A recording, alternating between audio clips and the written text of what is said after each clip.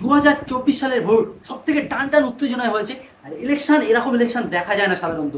India জোট সরকার গঠন করবে না বিজেপি? সেটা দেখতে হবে এক এক ঘনিষ্ঠতায় চারশো পান নাড়া ছিল বিজেপি। দেখব, শেষ পর্যন্ত কি হয় না হয়। আজকের ব্লগটা শেষ পর্যন্ত দেখতে থাকো।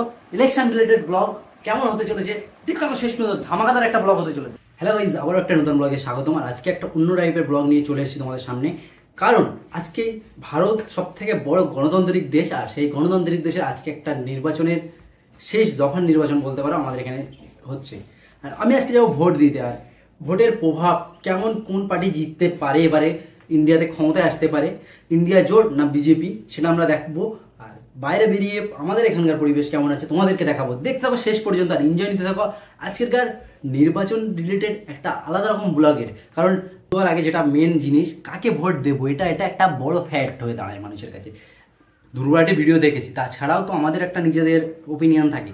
আমরা সব থেকে আগে ভালো করে কোন পার্টি কীভাবে কাজ করবে সেটা জানতে গেলে তাদের ম্যানিফেস্টো করতে হবে।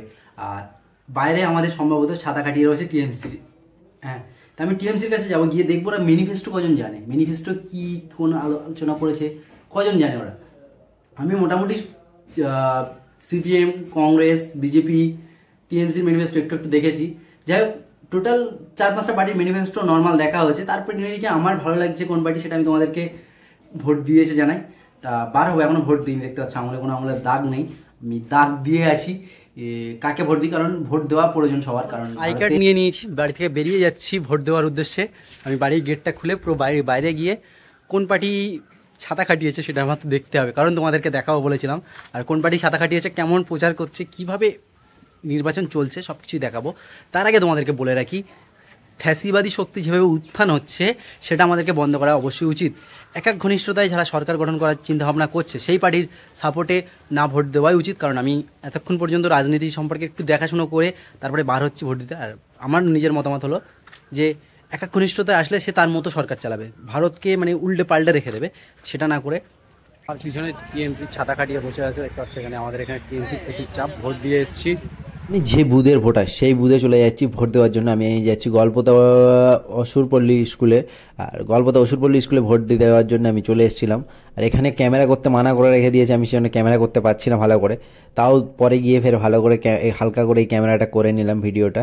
এখানে ক্যামেরা করতে কেন্দ্র বাহিনী খুব বাধা দিচ্ছে কত মিটারের মধ্যে ক্যামেরা আনতে মানা। ফিরে আসছি আমার ঘরে চলে এসেছি বাড়ির মধ্যে আর বাড়ির মধ্যে চলে আসার পরে আরও অনেক কিছু বলার আছে। গিয়ে আমি তোমার সঙ্গে আমি ভোট দিয়ে বাড়িতে চলে এসেছি, আর দেখতে পাচ্ছ, হাতে কালি লাগিয়ে দিয়েছি ভোটে। প্রত্যেকে তোমরা যারা যারা ভোট দিয়েছ, তারা কোন সোর্স নিয়ে ভোট দিয়েছ, কি দেখে ভোট দিয়েছ, এবং কোন উন্নয়ন দেখে তোমাদের সব থেকে বেশি ভালো লেগেছে, কোন রাজনৈতিক দলে, সে যে কোনো রাজনৈতিক মতামতের হতেই পারে। হ্যাঁ তোমরা কি দেখে ভোটটা দিয়েছ সেটা অবশ্যই কমেন্টে জানাবে। আর আজকের ব্লগটা অন্য স্বাদের অন্য রকম ভাবে হয়েছে। আমার চ্যানেলে ওয়ান কে সাবস্ক্রাইবারও কমপ্লিট হয়ে গেছে। আমি ভাবছি এই ধরনের এরকম রিলেটেড ভিডিও বানানোর জন্য একটা পার্সোনাল মানে আর একটা চ্যানেল লঞ্চ করার কথা ভাবছি। তোমরা কমেন্টে জানাও যে লঞ্চ করব না করব না, কীভাবে করলে, কীভাবে করা যায়। কিছু আইডিয়া থাকলে আমাকে অবশ্যই আইডিয়াটা দাও। আর আজকের ব্লগটা এই পর্যন্তই। আবার কোনো নতুন ব্লগে তোমাদের সঙ্গে দেখা হবে। আর আশা করি সবাই ভালো থাকবে, সুস্থ থাকবে ততক্ষণ পর্যন্ত। বাই অ্যান্ড টেক কেয়ার সবার জন্য শুভকামনা রাখি, কারণ দু হাজার চব্বিশ সালের চার তারিখে নতুন সরকার আসছে। কে আসছে সেটা দেখতে হবে।